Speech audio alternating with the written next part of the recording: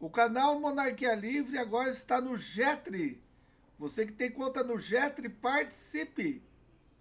Basta procurar por Monarquia Livre tudo junto e você vai ver nossas publicações nesta nova plataforma surgindo na rede mundial de computadores.